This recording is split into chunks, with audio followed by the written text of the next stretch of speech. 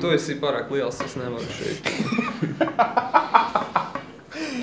Ah, šis bija skarbi.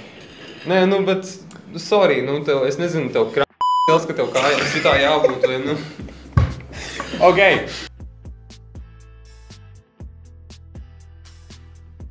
Labi.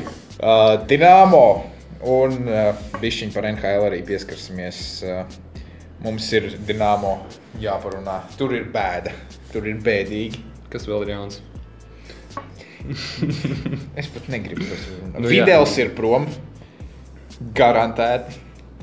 Majonam ir, uh, nu labi, Vidēls ir Barisā. Mēs varam par to bišķīt parunāt. Vidēls Barisā. Ko tas nozīmē Barisam? Skatīsimies, nezinu, nu, viņš nebūs tas pats vidās, kas viņš ir pats sezonā. Tas, protams, domāju, mēs ap piekrītam. Tie ir 5 goli un 15 piespēles visā sezonā. Iespējams. Iespējams. Tas nebūs tas pats videos. Vienkārši tas nav iespējams. Nākamā sezona atpakaļ zināmo, ja? Viennozīmīgi. Ceru, ka, Ok, izklausās labi. ceru, ka. Būs auga griezt, es domāju, tur Dienāmo ļoti labi Nu, iepirksies. līdz tam vēl arī jātiek.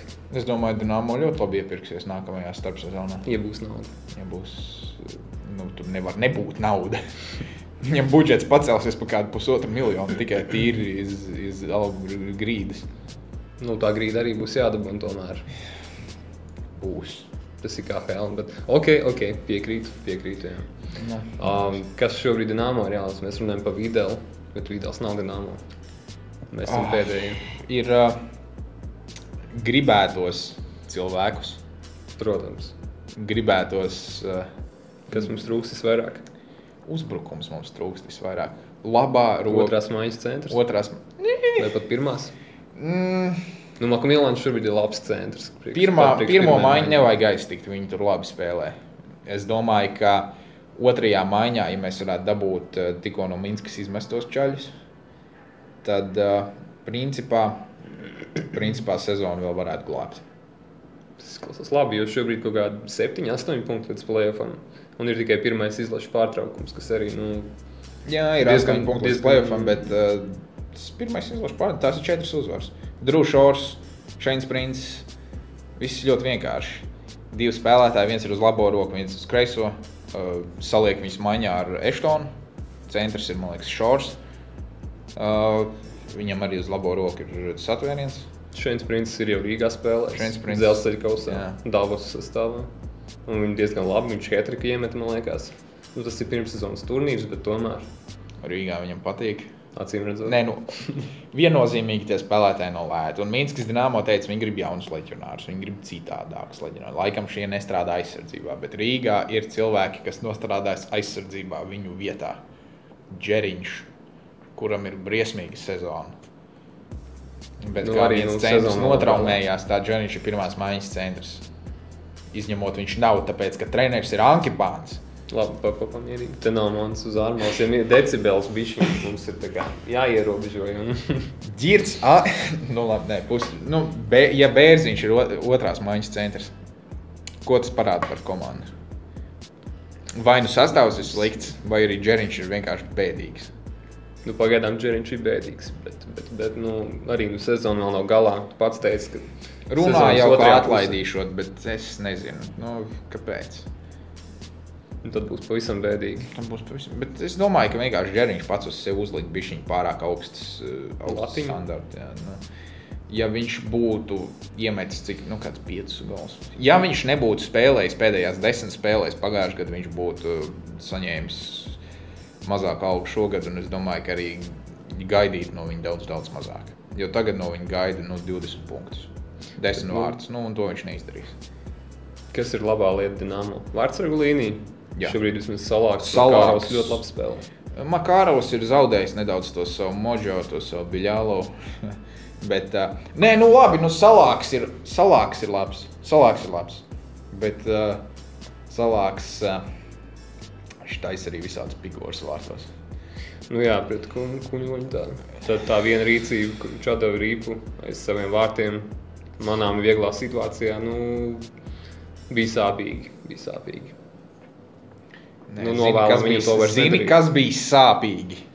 Zaudēt, ielaist mazākumā, nu, vairākumā. Nē, neieskaitītie vārti bija sāpīgi. Nu, protams, tas ir vienmēr mums problēma bijusi.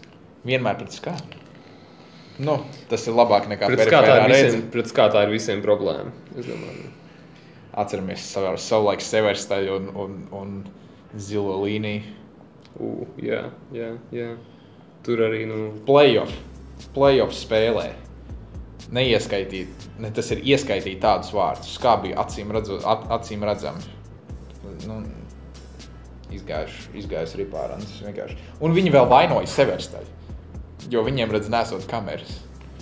Tāds ir kā kā. Nu labi. nu Bet labi, Dinamo- ne, nenopelsim līgu. Jā, nenopelsim mēs tomēr līgu. Spēlējam. Nē, mēs to nespēlējam. Nu, Dienāmo, tas ir mēs. Es saku. Nu labi, jā. Nu, Vai arī Dinamo- mēs tur atrodamies vienkārši? Mēs vienkārši atrodamies Nu, labi. Bet ko var Rīgas dīnāmo? Rīgas dīnāmo ir uh, Slovākija, Čehija. Varbūt kaut ko no turienes, varbūt uh, uh, Vācijas līgā ir daudz brīvo aģentu. Nav tā, ka nav kas spēlē. Lukas Flesi jau tikko dabūja trajautu. Bet, nu, arī, nu, viņš ir bijis jau Dienāmo. Mēs zinām, ka viņš ir kā, nu, Es mums dabūja neko Vācijas, nevar- Vācijas augstākajā līgā trajautu. Tikko Markovs dabūja trajautu. Tādi cilvēki kā, kā, kā Šeins Princis, uh, viņi, viņi būs ļoti dārgi. Protams, ka Dienāmo nav naudas tam visam, bet uh, pasapņot mēs varam. pasapņot, jā, pasapņot mēs varam. Ja Dienāmo dabūs kaut vai vienu no viņiem, tas jau būs labi. Nu, jā, nu, Dienāmo vienkārši nav naudas. Tā ir bēda. Tā, tā ir tā, tā vienīgā bēda. Spriedulēt mēs varam. Spriedulēt Ko viņiem vajadzētu ņemt un cik vajadzētu maksāt. Bet, nu, Ai, tā, nu, viņiem visu vajag. Mēs varam teikt, oi, viņiem vajag Elisonu, ja, bet nu, viņi nedabūs Elisonu, tāpēc ka Elisons grib miljonu. Tomēr iemet Vidēla 20 problēma. golus. Ja, nu. Vidēls tagad saņem smuki savu, savus, savus 500-600 tūkstošus uh, astanā. Un, Un redz ģimeni reizes gadā. jā, redz, redz, ka- kāpēc viņš turieni aizbrauc, es vienkārši nesaprotu. Bet, nu labi, uh, Dienāmo vajag jaunus spēlētājus. To jau, mēs jau to sākām kopš paša, paša sezonas sākuma. Kā viņi Berlūnu un Gudļevski izmet, tas jau visiem ir zināms. Bet uh, mums ir jautājumi. Mums ir daži jautājumi. Viņi Skatītāji jautājumi. skatītāji jautājumi. Jā. Uh, kurā vietā Dienāmo noslēgs sezonu?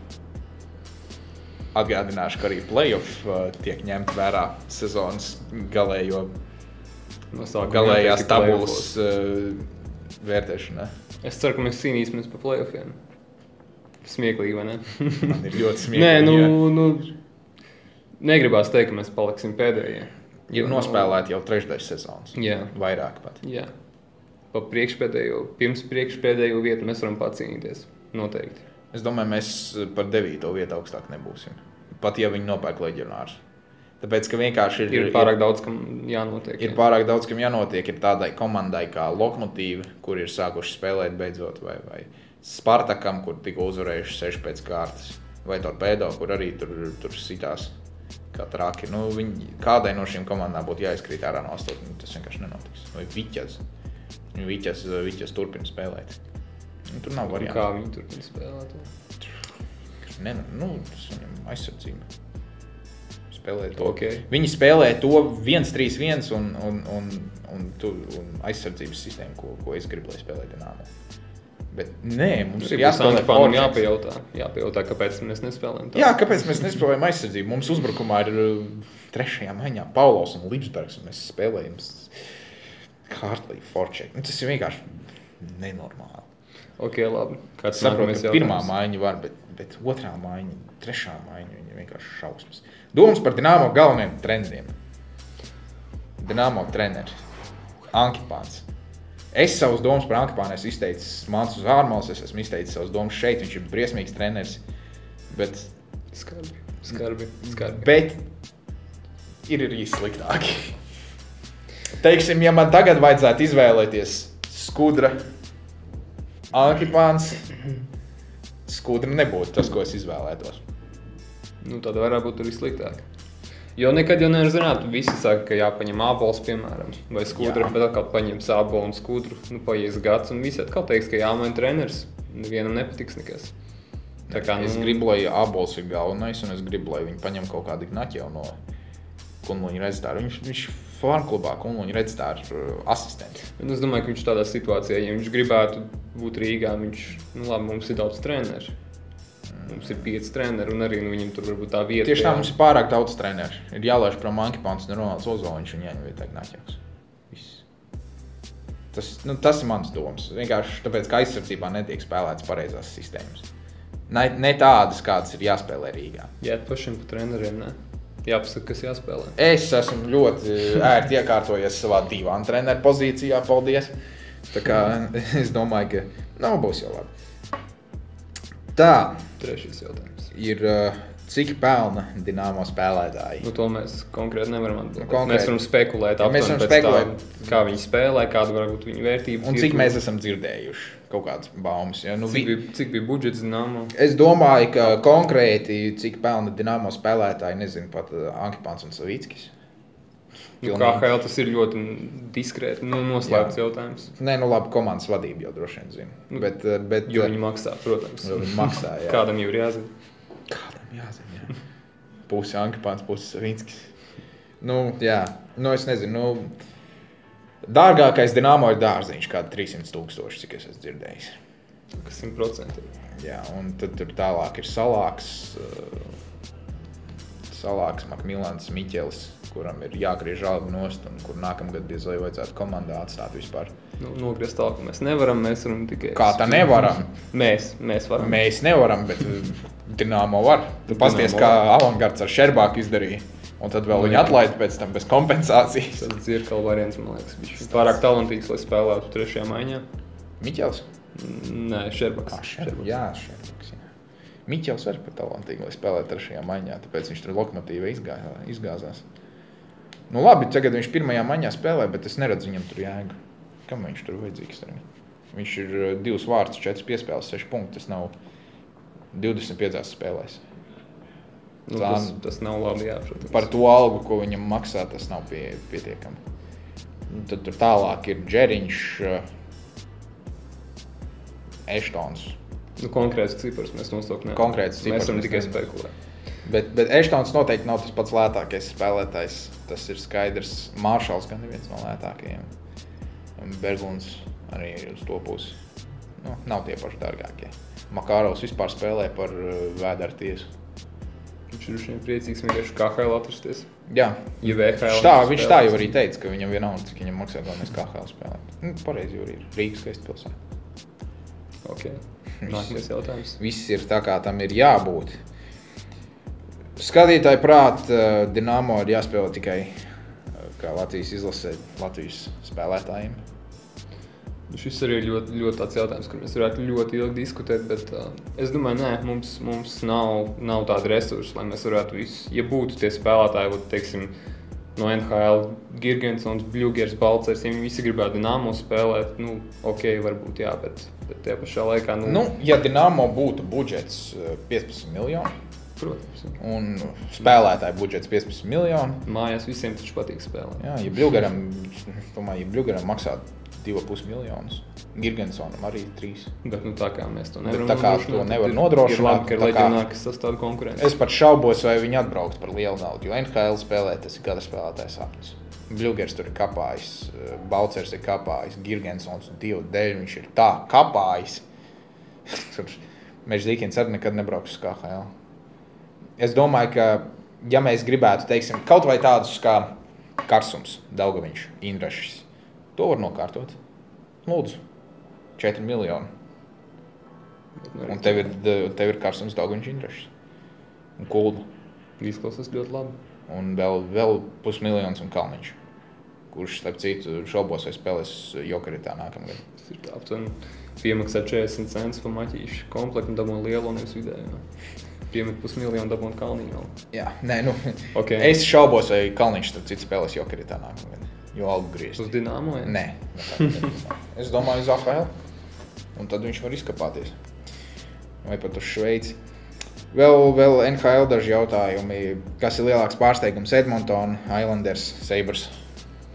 Jo ņemsim vērā, ka Sabres ir nedaudz nokrituši. Tagad, nu, droši vien Sabres mēs Nu, nevaram. Islanderi nedomāju. Viņi jau pagājušajā sezonā parādīja, ka viņi ar Tomēr ne, otrajā ne tik labu, ne tik labu sastāvu var ļoti labi Viņi bija 4. konferencē, 2. playoff kārtā. Tā kā tur ir uh, spēlētāji, kas var Kas bija izdarīt aizsardzības. Edmonton bija. Nu, protams, Edmontonā. Jā, nu, tur, uh, Nu, viņiem pirmā māja ar McDavidu un Draisālu, protams, ir ļoti laba. Bet tas dziļums viņiem blakus Viņi ir. Uh, ļoti augst, augstā procentā iespējas noslēdz. un Tas, tas jā, bet viņiem blakus ir. Kasijans, uh, otrajā maiņā ir Nīls, laikam, Man šķiet, ka viņi Kasjāni jau uz otro nomet. uz otro momentu. Kas Ne. tur Čiesons ir? Čiesons, jā. Čiesons. Čiesons. Pirmajā. Čiesons. Vismaz šonakt, šonakt tā bija. Nu, ņemot vērā, ka viņi ir nedaudz ir sākuši zaudēt, tur bija cik viņiem divas, trīs spēles bez, bez vārtiem. Kas ir loģiski, jo Edmontonā nav vārtu metēji, izņemot McDavidu, Draisaitu.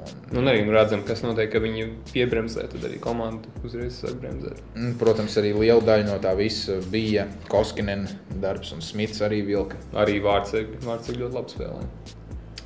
Jā, vēl ir, vai Džeks Hughes spēlē atbilstoši savām spējām. Viņš pirmajā mājā ielikts ar Holu un Palmēriju. Hišera vietā, jo Hišers bija satraumēts. Hišers ir nu, viņam ir potenciāls vēl ļoti, ļoti daudz Man uzkāpt. ļoti patīk Hišers. Man, man šķiet, ka viņam tāds tāds ir potenciāls. Nu, Viņš var var būt- viņš varbūt punktus varbūt nevāc pagaidām tā, kā Jā, gribētu. punkts viņš nevāc kā grib, bet viņam ir daudz potenciāls. Viņš var būt eh, pirmās maiņas centrs NHL. Un tas, ka viņi vienkārši domā, ka Hughes būs labāks, nu, jā, visi domā, ka Hughes būs labāks. Nu, droši vien jau, ka būs. Laiks rādīs. Laiks rādīs. Nu, nu, cilvēki saka, McDavids, McDavids. Jā. Kāds McDavids? Nav tur McDavids nekādiem. Nu, tur ir, Nu, pagaidām ir patālu līdz McDavidam. tur ir, man liekas, patāli. Bet viņš, viņš normāli, viņš tagad pirmajā maiņā ielikts un vairāk. Nu, jā, kamēr, kamēr viņam Hols spēlēs. Palmieri blakus, tikmēr jā, met, loģiski.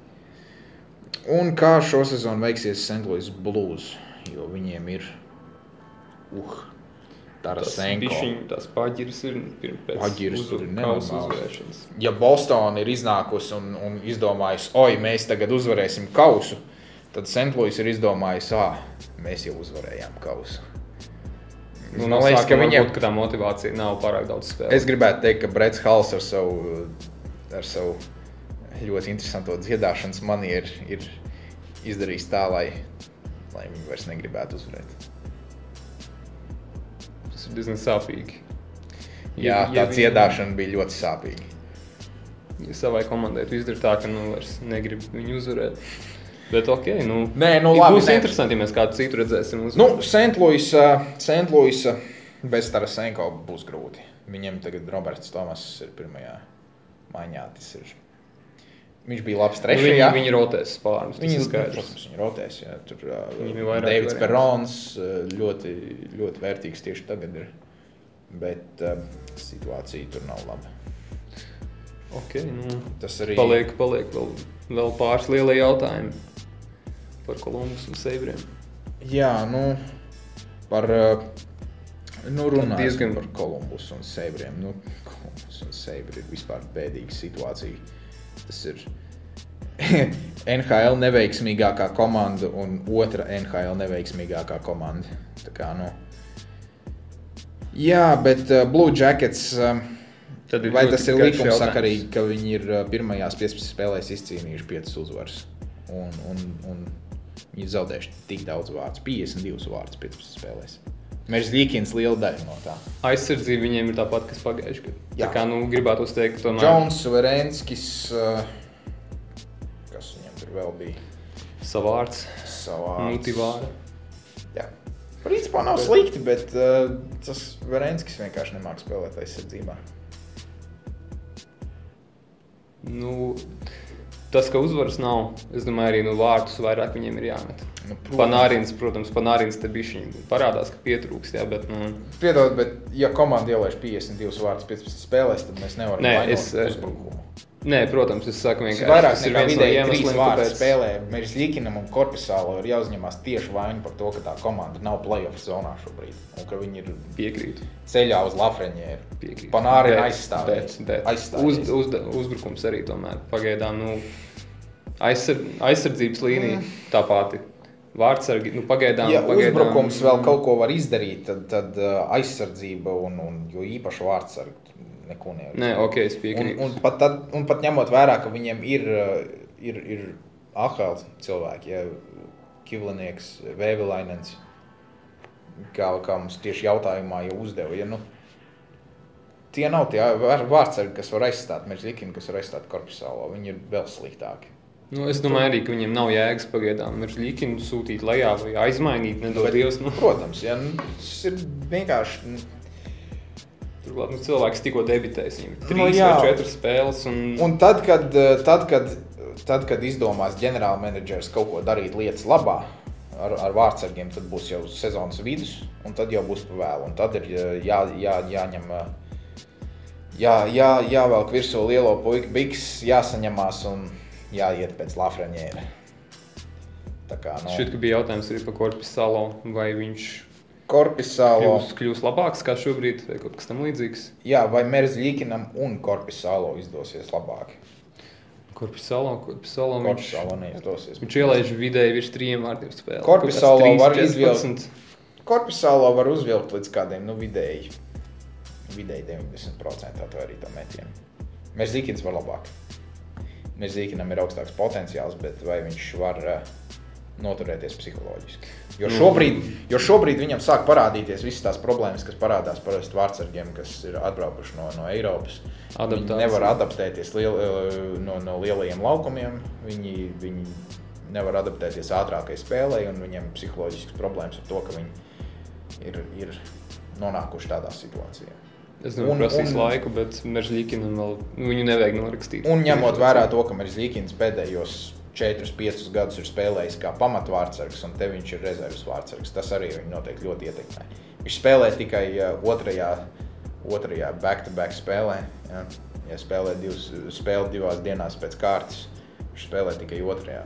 Gan Šķiet, komanda ir bija- sliktāka, šķiet, ka gan bija pats. pirma, pirmā bija iepriekšējā reizē. Jā.